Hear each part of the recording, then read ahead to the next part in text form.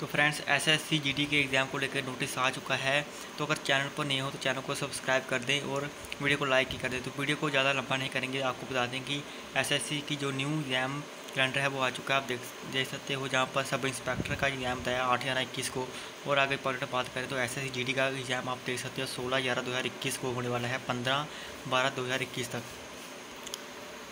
तो फ्रेंड्स, इसी की तरह अपडेट पाने के लिए आप चैनल पे बने रहें और एस एस का पेपर आप देख सकते हो, जहाँ पर ये ऑफिशियल नोटिस है। आप खुद जो ऑफिशियल साइट पर जाकर डाउनलोड कर सकते हो। सोलह ग्यारह दो हज़ार इक्कीस को लेकर पंद्रह बारह दो हज़ार इक्कीस तक आपका एग्ज़ाम होने वाला है एस एस का।